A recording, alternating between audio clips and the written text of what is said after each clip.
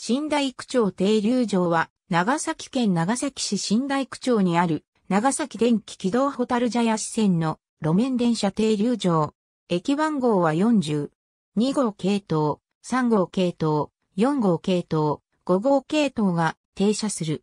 新大区町停留場は1934年12月に開業した。馬町ホタル茶屋間の開通と同日のことである。横断歩道設置前の電停新大区町、停留場は、併用軌道区間にあり、道路上にホームが置かれる。ホームは2面あり、東西方向に伸びる2本の線路を挟んで、向かい合わせになっている。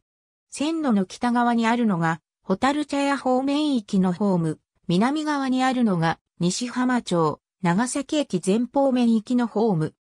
ホームには、横断歩道橋が接続していて、出入りにはこれが使用されていたが、バリアフリーの観点から2019年2月に横断歩道と道路信号が設置され平面移動による出入りが可能となった。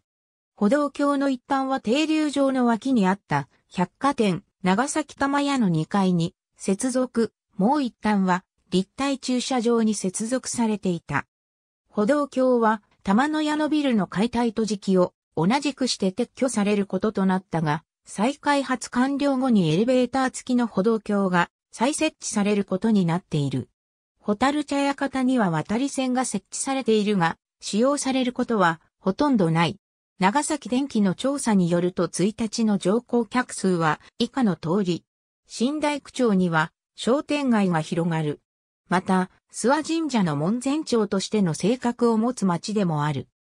ABC でんぐり宮川2000ピアニッシモ7475 ABC 今を2009 P58 100年史 P129 100年史 P139 タグリ宮川2000 P195 ABCDE 電栗2005 P85 20年の歩み P146 AB 新大区町電停バリアフリー化新大区町交差点右折専用信号の設置。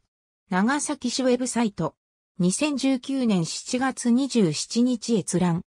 ABC100 年史 P130、ABC 川島2013、P48、川島2007、P122、平成の長崎、長崎玉屋が閉店45年の歴史に巻く。